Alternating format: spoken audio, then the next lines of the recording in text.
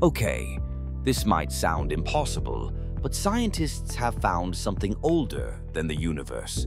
It's called a sterile neutrino, a mysterious type of particle, and based on its mass and the way it behaves, it may have existed before the Big Bang. Yeah, like finding a selfie from before cameras were invented.